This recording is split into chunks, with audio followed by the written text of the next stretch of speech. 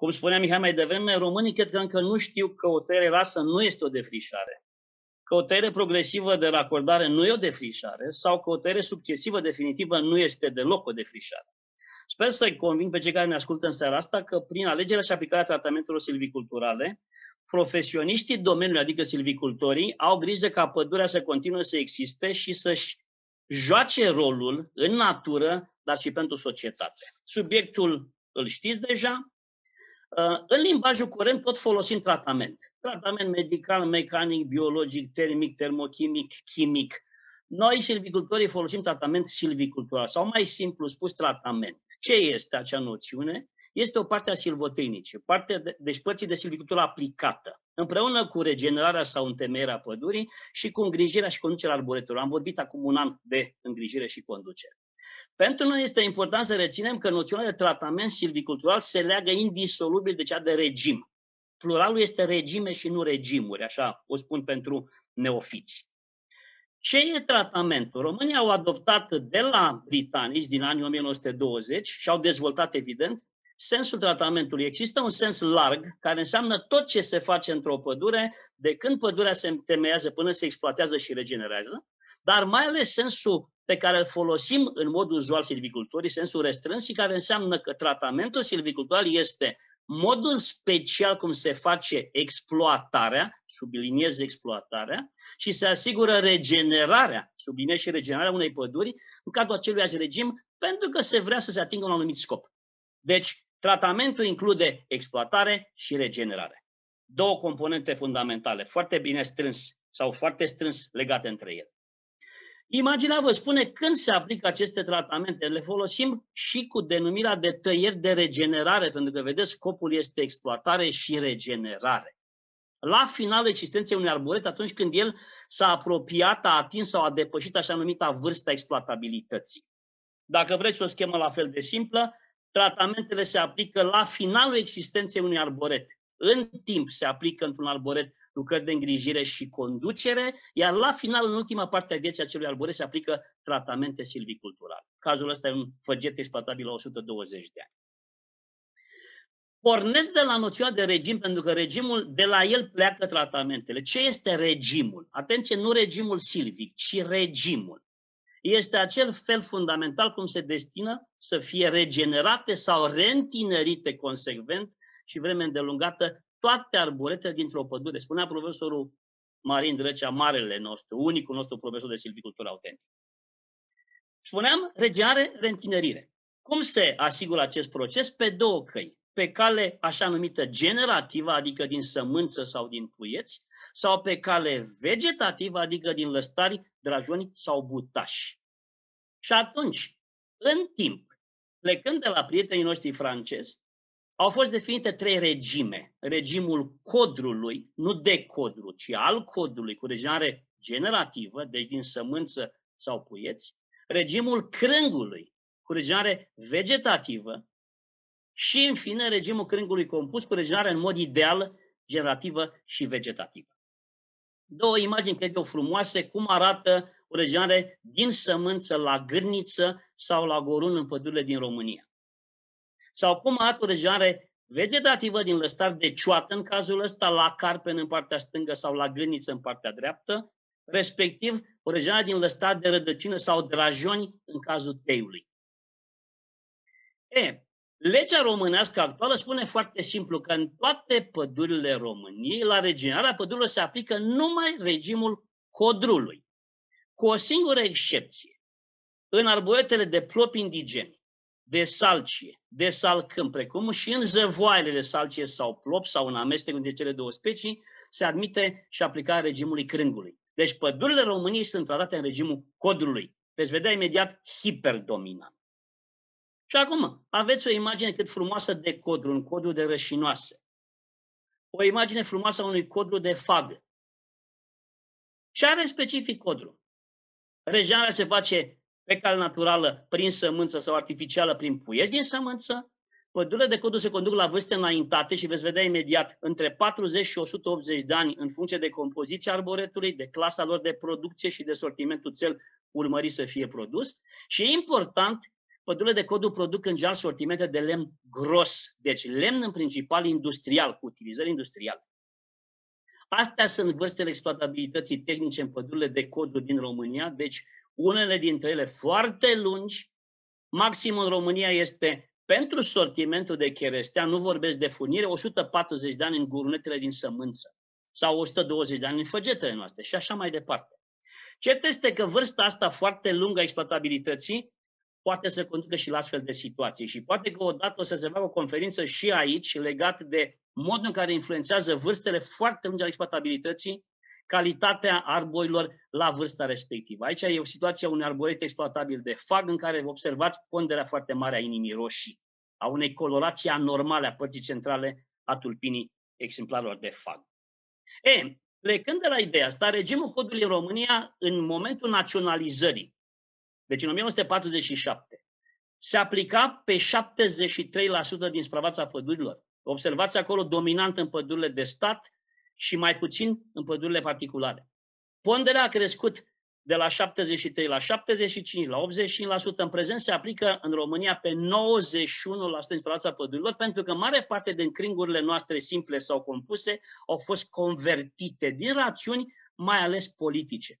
Observați că și în Europa, pădurile de codru ocupă exact același pond, aceeași pondere. Din cele 227 de milioane de hectare păduri ale continentului nostru, fără spațiu Federației Ruse, 207 milioane sunt tratate în regimul codrului. Deci 91% ca și în România acum.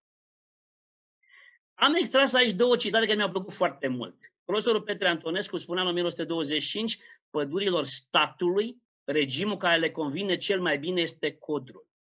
Iar într-o mare lucrare necunoscută românilor de multe ori, sau aproape întotdeauna, Chivulescu scria acum 100 și vreo aproape 40 de ani, statul care mai presus de toate ține la interesele generale, deci ale societății, preferă codul în locul crângului. Și mai întotdeauna caută a converti crângul la codul. Deci ce s-a făcut în principal la noi ca proces de la 1947 până la 1990 și se continuă, într-un fel sau altul. Așa arată o pădure de crâng. Deci un crâng provenit din lăstari. Lăstari de cioată. Ce are specific crângul? Se, el nu se el se reîntinerește, repetat, prin lăstat de cioadă sau de rădăcină, deci drajoni, are o vârstă a exploatabilității mult mai scurtă, nu mai ajunge la 120, 160, 180 de ani ca și codul, ajunge numai la 35 de ani în cazul României în salcămete de clasa 1 de producție. Nu se mai obține lemn gros, deci cu utilizări industriale, se obține în principal lemn subțire sau puțin lemn mijlociu, utilizabil mai ales la foc. Nu mai la salcâm pentru folosințe industriale. Astea sunt vârstele exploatabilității în crângurile din România, minima 15 ani în crângurile cu tere de sus, cu tere în, în scaun de salcie, 15 ani, maxima 35 de ani în salcămete noastre de clasa 1 de producție. Tot plecând de la doi clasici, Apropo, de ce se, sau ce se întâmplă cu crângurile? Chivulescu spunea particularul, deci proprietarul privat de pădure din România, în momentul 1886, căutând a avea venitul cel mai ridicat, preferă crângul în locul codrului. Iar Simionescu și Zei, într-o lucrare din nou puțin cunoscută cititorului român, spunea simplu, exploatarea în când se aplică mai ales mai mult de proprietarii particulari, citez în continuare, căci ei nu pot aștepta o durată de 80-100 de ani ca să obțină arbori de mari dimensiuni și capabili a se regea prin sămânță. De ce? Pentru că vor, spune acolo, să producă venituri necesare traiului. Când în România ocupam 47-27 de procente, la ora actuală a mai rămas pe 5 procente din situația pădurilor României, comparativ cu 9 procente în Europa. 20 de milioane de hectare din pădurile Europei sunt păduri de crâng. Crâng simplu, veți vedea, sau crâng compus. Sunt cifre importante și interesante, cred. Ce vedem aici este ultimul regim al crângului compus, rejare și prin sămânță și prin lăstari. Există acolo două etaje. Etajul inferior se numește elementul de crâng, care produce mai ales lemn subțire, și etajul superior, elementul de codul, care produce lemn mijlociu și gros. Etajul inferior lemn de foc, etajul superior lemn de lucru și pentru construcții. Ce este că în România uh, regimul crângului compus s-a aplicat pe o suprafață relativ mare, deci vedeți 9% la inventarul din 1929. La el s-a renunțat în 1948 din rațiuni de politică forestieră. Toate crângurile compuse din România au fost convertite spre codru. Important este sau interesant este că în Europa, crângul compus este încă atractiv în multe păduri particulare de foioase, cazul Franței. Uitați-vă, 30% din pădurile Franței sunt crânguri compuse. Ponderi importante există și în Italia, și în Grecia, și în Spania. Uh, ca să înțelegeți practic situația asta, v-am dat în tabelașul ăsta câteva aspecte legate de compoziția arboretelor în spațiul României și în spațiul Europei. Vedeți că în România dominante sunt foioasele, 74% sunt foioase, cu fagul specia hiperdominantă, rășinoasele ocupă numai 26%, cu molidul specia cea mai importantă. În Europa, lucrurile nu stau așa. Foioasele pure ocupă 37%, rășinoasele pure 46%, iar boetele amestecate de foioase și rășinoase 17%. Deci situații oarecum diferite între spațiul românesc și spațiul european în ansamblul lui. Dacă ne raportăm la păduri după sistemul de proprietate, România are dominant păduri publice, 64%, restul sunt păduri private, dar cu o caracteristică foarte importantă. 700 de mii de proprietari privați care au o suprafață media proprietății de, de numai 1,1 hectare. În Europa, pădurea publică este dominantă, pădurea privată ocupă numai 46%, dar Europa are 16 milioane de proprietari privați, din care, la, sau la care proprietăți, 90% nu au mai mult de 10 hectare. Deci suprafețe mici pe proprietar. E, trecând de la regime, la tratamente, ce e de spus?